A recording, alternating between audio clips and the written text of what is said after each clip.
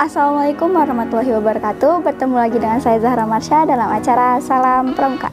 Dan pada pagi hari ini adalah semangat kebersamaan kita untuk menghadapi kota Bogor yang aman, pemungutan suara yang aman, pesta demokrasi.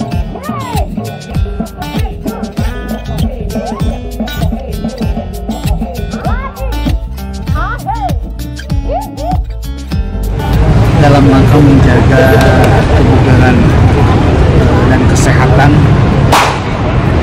baik TNI Polri dan penyelenggara pemilu dalam menghadapi persiapan eh, perhelatan 14 Februari 2024 ini datang.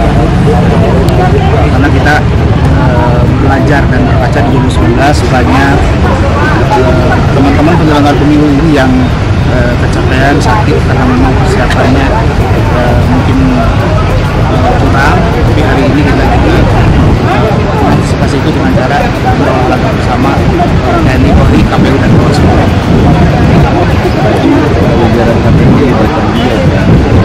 Di dalam KPU, eh, PPK dan PPS juga kita libatkan pada hari ini. Bawaslu juga melibatkan teman-teman Panwascam dan PKD Berapa lama ini? Apakah tiap hari, apakah pernah ada sampai hari?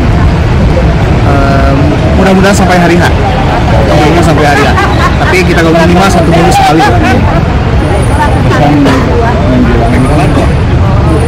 Di pemilu mencegah ya, 2019 lalu ya ada KPPS yang banyak yang ya selain dari kegiatan eh, olahraga senam bersama ini eh, per hari kemarin juga kita bekerjasama dengan pemerintah kota Bogor dalam hal ini dinas kesehatan eh, sedang melakukan eh, tes kesehatan bagi anggota eh, KPPS terpilih tes kesehatan lanjutan berupa eh, tes kolesterol, gula darah, tekanan darah juga dan lainnya eh, hari ini kita lakukan dan hari ini pun kita monitoring ke masing-masing kelurahan karena dibagi di kelurahan eh, berapa puskesmas membawahi beberapa satu puskesmas satu puskesmas membantu membawahi beberapa kelurahan.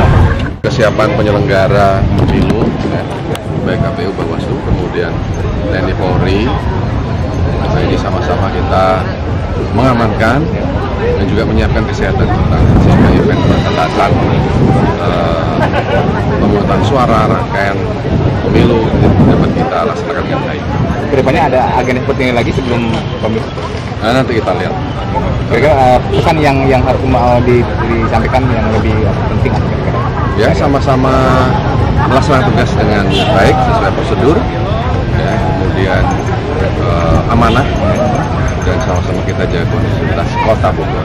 Iya, Bang. Atau bisa Ya, dan sama-sama semoga eh, terpilih pemimpin yang eh, terbaik, amanah. amanah sesuai harapan masyarakat. Siap. Masyarakat. Ya, yang kita fokus olahraga hari ini ya.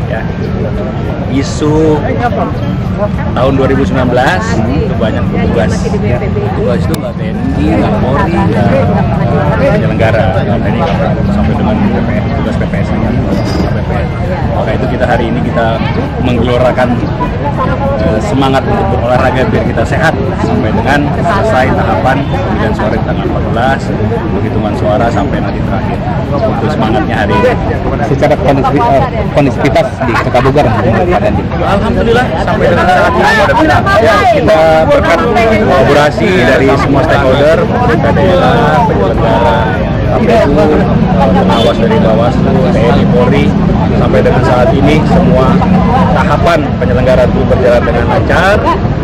Wilayah juga sangat kondusif, bisa bilang kita siap menyelenggarakan di tanggal 14 Februari. Insya Allah tahapan itu bisa dengan baik dan bisa berjalan dengan sangat lancar. pesan bagi perangkat pemilu dan juga masyarakat. Yang pertama ya kita jaga kondisivitas wilayah di Kota Bogor ini. Walaupun eh, banyak berita di media sosial eh,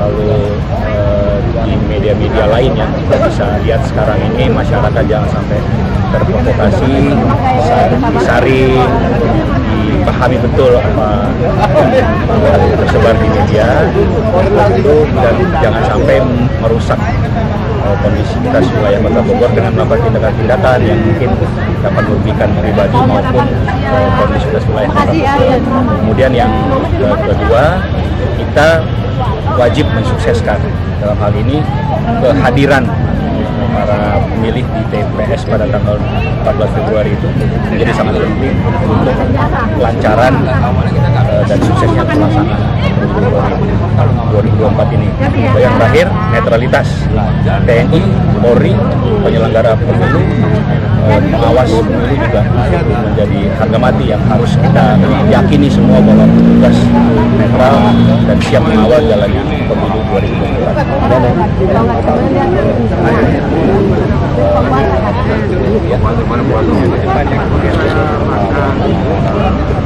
Oh ya, eh, pelibatan TNI dalam pelaksanaan pengamanan pemilu ini adalah sifatnya berbantuan. Kemarin sudah dilaksanakan gelar pasukan di Kodam 3 Siliwangi. Kita menunjukkan bahwa kita siap memberikan bantuan kepada Polri dalam hal ini dalam pelaksanaan pengamanan. Seluruh jajaran khususnya di Kodim Kota Bogor siap memberikan dukungan dalam hal industri dan logistik mungkin tidak ada hal-hal yang dirasa kita perlu untuk eh, ikut eh, membantu atas permintaan dari KPU dari Polres, Polres Kota Bogor dalam hal ini kita siap untuk memberikan perbantuan itu. Seluruhnya siap. Kita juga punya batalion di sini atas perintah Komandan Korem. Seluruhnya personil siap untuk melaksanakan pengamanan dan mensukseskan pemilu 2024.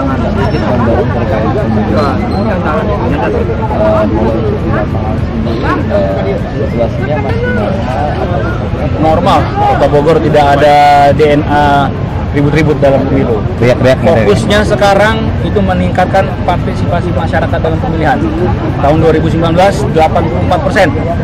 Tahun ini dari KPU menargetkan sampai dengan 90 persen itu yang kita kejar. Makanya dalam beberapa hari terakhir ini kita terus menggaungkan, menyampaikan kepada masyarakat hadir dan menyalurkan hak pilihnya tanggal 14 Februari ini. Oke, terima kasih semua dukungannya teman-teman ya. Nuhun. aman